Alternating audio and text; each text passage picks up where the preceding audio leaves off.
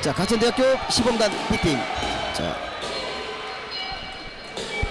네, 절도있는 시범의 해설이 경기가 시작되고 네, 있습니다. 네, 가천대학교 시범단이고요. 발랄하죠. 와. 네, 2016년도에 웰빙 페스티벌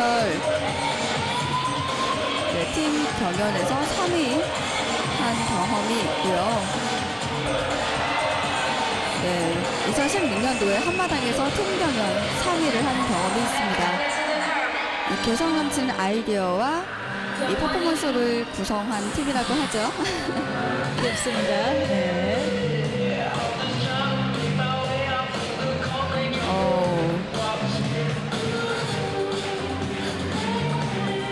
네, 이 팀은요, 원래 9명에서 태권 체조를 마쳐 오다가 부상자가 생겨서 다른 인원으로 교체해서 연습을 했지만 네네. 2일 전에 교체가 안 된다는 이야기를 전해 듣고 네네. 좀 여러 가지 문제가 있었던 팀인 것 같습니다. 그럼에도 불구하고 이렇게 결선에 올라온 거 보니까 어, 예, 참- 실력이 있는 거죠. 많은 연습을 했던 거죠. 네,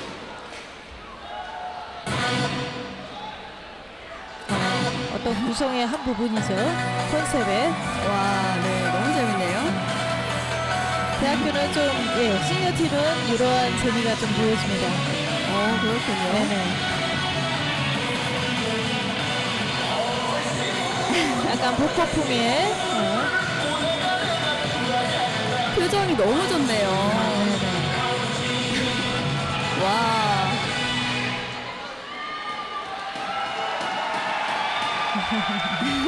앞에 와서 저렇게 이제 끝나는 게 마무리였습니다.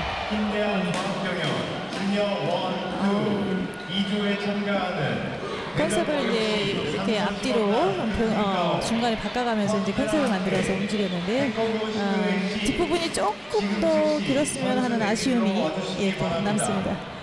네. 약간의 아쉬움이 느껴지긴 하지만 그래도 끝까지 너무 멋있는 모습 보여줬고 8.9 네, 나왔네요. 하지만 오, 8.9점이라는 1등 나왔습니다. 네네. 네, 1등의 점수가 나왔네요. 아무래도 이런 코믹스러운 요소들이 심사위원들의 그런 마음을 사로잡는 것 같습니다. 어떤 구성에 있어서 또 그걸 표현을 잘 해내는, 해내면 또 그거에 대한 점수가 또 높아지거든요. 네, 준비성에 대해서 네네. 높은 점수를 주는 것 같습니다. 네 네, 그럼요.